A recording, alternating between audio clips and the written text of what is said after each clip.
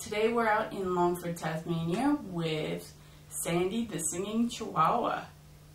And take it away, Sandy.